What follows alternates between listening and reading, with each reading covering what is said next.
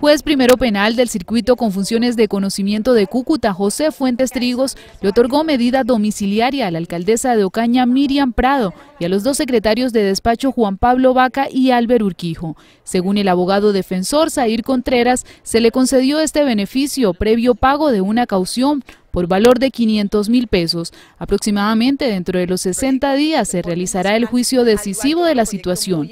La mandataria, igual que los dos funcionarios, continuarán inhabilitados de los cargos, dado que es una medida privativa.